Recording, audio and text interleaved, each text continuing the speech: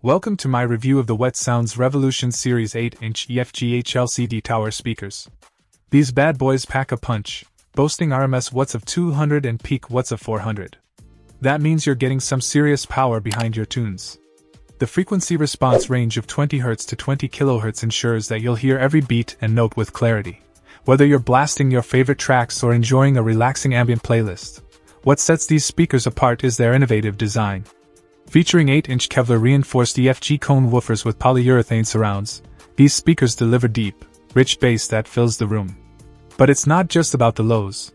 The proaxial driver with a coaxially mounted titanium diaphragm ensures high output and crisp highs, providing a well balanced sound that's perfect for any music genre. Installation is a breeze with the included X mount kit, allowing you to easily mount these speakers wherever you need them.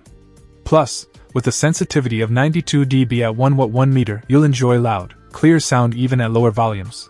Whether you're hosting a party on the boat or kicking back by the pool, the Wet Sounds Revolution series tower speakers are sure to impress.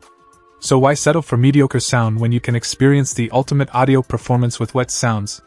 Unleash the power of sound with the Revolution Series Tower speakers today. Check out the video description for updated price. And thank you for watching this video.